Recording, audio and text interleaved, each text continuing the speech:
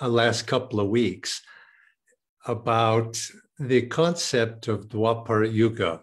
And I had thought that last week, perhaps that was, I had said enough on it, but I realized there was a couple of things missing, and I wanted to continue this discussion a little bit. One is I did not give people, you, a chance to properly ask questions that maybe you had uh, in mind. And I think I mentioned last week that I'd be answering those questions uh, today. And so if you do have questions, you can write them in the question box or the chat box, and maybe we'll do it uh, audio as well. And, but the second reason is I began to ponder, and when I first read the autobiography of a yogi and encountered a little bit this mention of Swami Sri Yukteswar, his uh, concept of the yugas, I found it fascinating, and I I read what he had to say in the Holy Science, and I found that it struck me. Uh, and for some reason, it it had an impact upon me that I was not quite able to, you might say, conceptualize why it had such an impact on me. But I, I realized that it it was something in my mind that I kept coming back to again and again. And finally, I began to think, why is this? you know, why does this seemingly uh, abstruse idea? What is why is why am I so attracted to it? And I had heard about the yugas. I knew about the traditional uh, concept of the yugas that's common in India with most people. And but the yugas saying that we're in Kali Yuga, but the timelines of those were so vast that it was pretty much irrelevant to my day-to-day experience of life or my understanding of life, of understanding of history, where we might go. And if if Kali Yuga really is hundreds of thousands of years, what difference would it make what I do or not do, or what happens in the world today? But I began to, when uh, Sri Yukteswar, in his uh, short exposition on the yugas in the Holy Science, mentioned that the Yugala of Kali was much shorter than that, and that it was something that was in a reasonable amount of time to grasp. Uh, Kali Yuga, in his case, being a thousand years, plus the sandhis on the preceding it and following it. that seemed like something that was much more graspable in my mind. And I began to think about it and and thinking about Kali, looking back, yes, we have been historically, it's traditionally, we even say the time, you know, some thousand years ago, 1500 years ago was a dark age. And yes, it, it seems pretty dark. And so it began to arrange my thinking, but it had a an impact in that it affected me that in the sense that if we are in an ascending yuga, then it gave me a sense of hopefulness, you might say. There's a purposeful direction of world events. I try to keep up, uh, not obsessively, but I read the newspapers or now look at the internet and see what's happening. I try not to devote too much time to it unnecessarily, but just to be aware of things. And it can be a little bit uh, discouraging. And you think, and I know growing up, there was all the, always this thought that older people would always say, oh, back in the good old days. And they would be grumpy about, oh, life is going downhill, everything's terrible. And I was not in tune with that, let's say. I tend to have a little bit more positive frame of mind. But then, of course, I began to introspect is that just wishful thinking? And when I read the about the yugas, what Master said, Sri Yukteswarji said about the sense we're moving in a higher age, it confirmed my own intuitive view of world events, not just because living standards worldwide were going up and so on, because we can see counterpoints to that in terms of chaos. Also, life does seem to be somewhat chaotic, but nevertheless, that there's a sense of direction inwardly for myself personally, but also outwardly. There seems to be uh, an evolving sense of direction that, uh, and then more importantly, I think the concept of the yugas as something that is can be generally shared, it reminded me that, as Paramahansa Yogananda says in his autobiography, that Babaji, the great ones, the avatars, they come again and again into this world to guide the world, to guide us as individuals to a purposeful direction toward self realization. And that they're not coming just for me alone, but they're coming for society as a whole, that we might, as a society, as a world society, that we might move in a purposeful direction. And that if that is so, then each one of us play some small part in that process. So, in a sense, it, it reminds me that I have a role to play. I have, I, my actions uh, are purposeful. There's a philosophical outlook, nihilism, the sense of, uh, of meaninglessness, you might say, that's current in the world today that's discouraging. And to think that people would buy into that sense of discouragement but i could i could understand why some people might see that. But it's a you might say the idea of yugas are a counterpoint to a nihilistic worldview, and that each of us need to participate in countering that nihilistic worldview for the betterment of society as a whole. Now, some people say, well, what's it matter what we do? It's all about what we do individually within ourselves and society has, we can let it go. Go to the mountains, go to the cave, retreat, get away from it all. And that has been a world view of many over the last millennia or two millennia. But it seems to me that we are in an age where that isn't going to serve me personally in terms of my spiritual growth. We need to think in terms of something larger than my own spiritual advancement. And the way, and as a sense, we have a role to play in life as a whole. And thinking in terms of the yugas, and I'm very attracted, my personal attraction to scripture of the Bhagavad Gita. You, you could say that the Gita was written in a descending age of Dwapara, and that as we are, if, as Sri Yukteswarji says, we're in an ascending age of Dwapara, it makes relevant to me why the Bhagavad Gita is such an important scripture for us to study, to attune ourselves with. Because what is Krishna saying? He's not saying to retreat to the mountain caves, he's saying act in this world. Action is appropriate in this world, but right action, dharmic action, non attached action, sacrificial action. Sacrifice, sacrifice of the individual soul. So, so in the sense of because I, it, you know, I look to the Gita as scripture, it it makes sense to me, and I begin to understand what's why Paramahansa Yogananda came at the direction of Babaji into the world as an avatar. And he was, Babaji had told Yogananda that one of your missions is to show the underlying harmony of the great scriptures of the world, particularly as examples of that the Bhagavad Gita, the original teachings of Krishna through the Bhagavad Gita, the original teachings of Jesus Christ through the uh, Bible.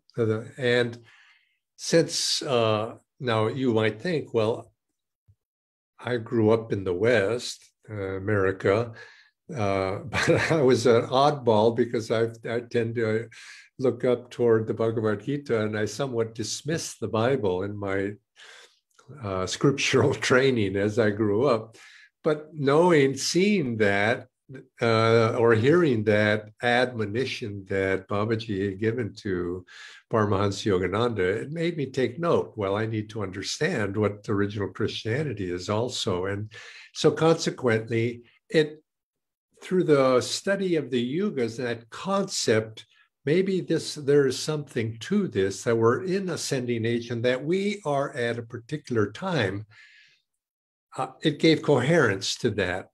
Now, a did uh, addendum to that, of course, is it made the understanding of the yugas also gave clarity to the appearance of our guru, my guru, Paramahansa Yogananda, why he came at this time, why all of our masters came of our this path came at this time, and what their mission is, and to understand that it's not random. They came at a special time with a special mission.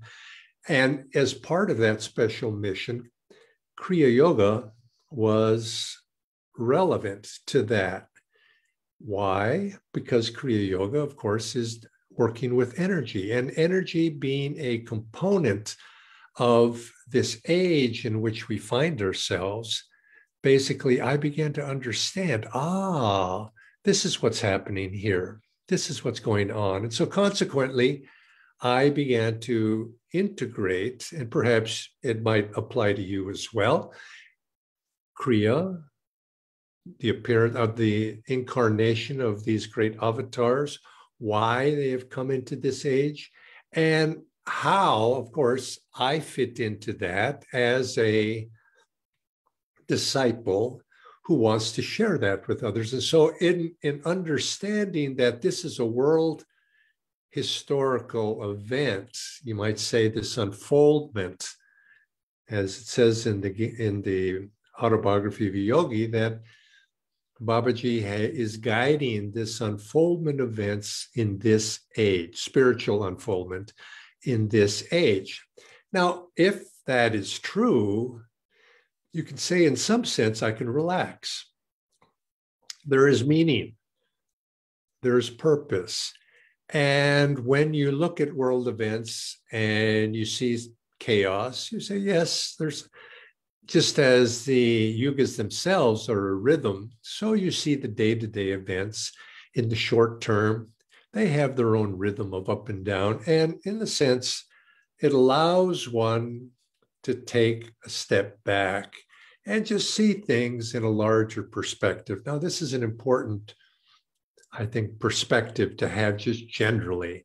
It's not to take things too personally, to be impersonal a little bit, you know, especially about oneself. But I think, in the sense that one, if one gets too involved in the day to day turmoil of worrying about these things uh, and saying, yes, we have to deal with them, but we don't have to fret, you might say, about them, other than the fact that perhaps it motivates us to do something to make make uh, things better. Better, but it but it helps us weather, uh, and we see our own spiritual evolution in in these terms that we're we're all passing through a phase. Uh, yeah, and, and the other part is, you know, because I am tasked with sharing master's teachings, it kind of, I think it makes me a little bit, seeing them in terms of the yugas makes me a little bit more forgiving of the folly that all of us find ourselves in in this age. Because what are we in? We're in an age of Dwapar ascending at the very beginning. And as Yukteswar, you know, 125 years ago or whatever it was, defined it. It's an age of self interest, an age of ego. Well, okay, but it's not always going to be that way. And so consequently, it says, yes, we too are going through a, this society is going through a phase, world is going through a phase, and it'll change. And if I then look in the mirror and look at myself, well, yes, I'm self interested, uh, eh, but this is a phase, and I'm moving from self interestedness to an enlightened self interest. I hope I've made some progress. And I see it in terms of your life, in terms of directionality. And I think this is something that's a message for all of us. Life is directional. We, we can't judge ourselves. Well, here I perfection is there. I'm less than perfect. Therefore, something wrong with me. And I haven't, I have, you know, it's either or, as we've spoken about in other classes. Whereas we say, yes, but I'm aspiring to that and I'm moving to that. And so consequently, I can relax a little bit about my own self judgment and also, I think more, more helpfully, my judgment of other people, my judgment of society, and uh, just generally take a more long rhythm view of my own life and also society as itself. Because i think in a sense if you if you put that coin right up to your eye all you see is that coin. And so if we see put our own ego up next to our own faults our own personalities our own uh, quirks uh, we don't get a good perspective. Now another point perspective it, it reminds me of is that we're in a in this age now but we're infected by view of where we're going in the future by our uh, i'd say by the past we're infected by our our view of the past from the age from which we're coming it's inevitable uh, we have to see things through the lens of our own past experience. And so society itself looks to the future through the lens of the past. Mod, we look at the future through the lens of modernity, mod, modernity, modernism. Uh, and so consequently, what do we see? We see things mechanistically. And I remember Swami Kriyananda making an interesting point some years ago. Uh, I think it was in the 1980s when that movie, uh, movies in the plural, Star Wars, was released. And so it was very popular. People went to see that movie again and again. And says so a group of people took Swami to it. And Swami said, well, he was a fun movie you know, so Swami saw everybody else was having fun watching it, so he didn't want to be a, a, damp, a damp blanket on anybody's enthusiasm. But he said the one thing he had reservations about, he says, why is it that when we look to the future and we, you know, now of course in the that Star Wars movie, they were saying all that happened a long time in the past, at a time long, long time ago. But nevertheless, when if you read science fiction and those sorts of things, they're looking toward the future, space travel, uh, uh, uh, rocket ships, uh, future robotics, and future cities. It's always there's a certain mechanistic and a perfection of technology it's seen through the lens of technology, a more modern technology, a better way of, of slicing the apple or, or what. And he says, why is that? He says, is that really a true way to look at the future? People think Swami uh, Sri Yukteswar says the essence of the yugas, the advancement of the essence, is an increase in awareness consciousness, let's say, or Dharma also. It's an increase in awareness. Now, does increase in awareness necessarily correlate with more sophisticated, complex, slick technology? We seem to think it's so but does it necessarily have to be so? And I think one of the reasons we think that way is because we think mechanistically, which is a way of a Kali Yuga way of looking at life through things, through materialism. But might not, as we move into a higher age, there be even less, I'm not saying less technology so much, but might it be not technology bound, might not there be a greater attunement in the future with natural forces, forces that are potentials within us right now, might not, you could say technology seems to be at odds with nature, with the environment. Might now we be moving into an age when we're going to live more instead of conquering nature? We're moving into an age where we begin to harmonize with nature. And so, consequently, might we be moving instead of a world of greater and greater complexity into an age of greater and greater simplicity? But simplicity not in the sense of being primitive. Now, what might that be? I don't know. But I it but it sparks my imagination. And can you, would we say that to live in Satya Yuga, we're going to live in this uh, highly sophisticated technological age? Or might we live in, a, in an age where it's simple, but it's mind power, you see, it's yogic power to control the energy within ourselves directly rather than what we do now is we which we're learning into Aparyu to control energy but we're controlling that energy indirectly from outside of ourselves. Now this is exactly what kriya yoga is all about learning to control our life force and learning to uplift our life force directly not indirectly, which is through indirect means would be to remind you, would be through ceremony, through rituals, to doing something outside of ourselves that makes us feel inspired. But how do we learn to control our inspiration directly from within ourselves through our life force? And then how, and this is, of course, is what the essence is of spirituality in Dwapara Yuga. And this is the essence of uh, awakening, you could say, through the through the practice of spirituality, of practicing these techniques. Now, one thing in this theme uh, that Sri Yukteswar said, he says, now, and I can't, I can't reconcile this quite uh, uh, fully yet. He, uh, Sri Yukteswar said that the full awakening of awareness in, of, of Dwapara Yuga implies an awakening of consciousness of the, of the mass, the general consciousness of society in this solar system is an awakening to the astral universe within us.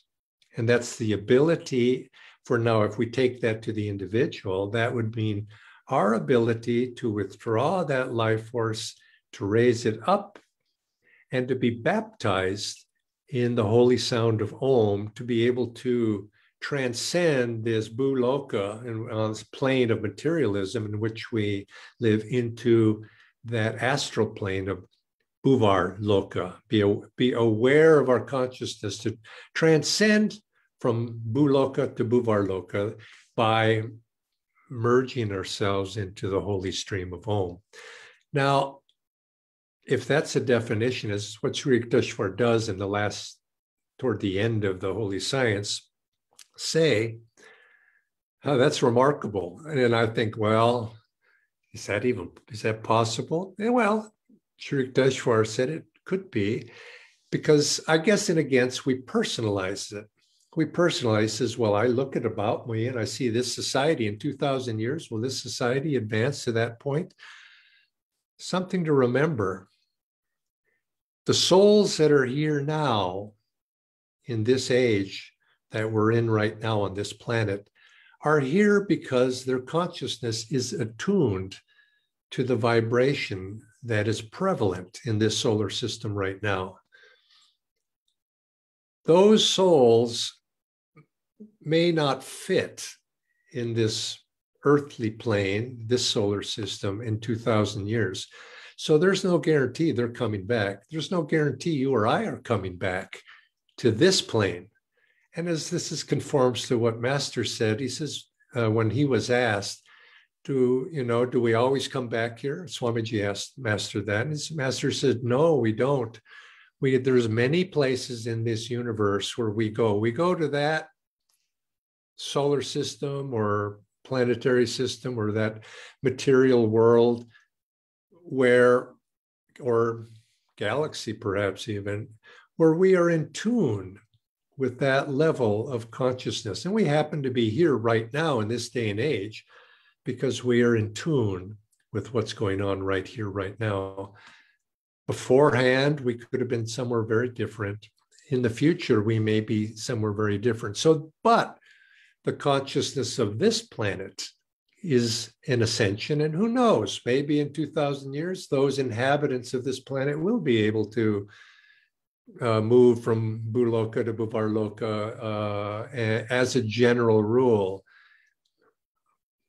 Maybe I, you know, I kind of think, well, that you know, maybe I could be in there if I, if uh, if I was to raise myself to that level of consciousness to be able to easily transcend those two states. Something to think about. It's possible, of course, for all of us to do that right now in this lifetime, and that's why we've been given the technique of Kriya. So, for all of these reasons, I find it an ex, it, a very inspirational topic to explore because it inspires me.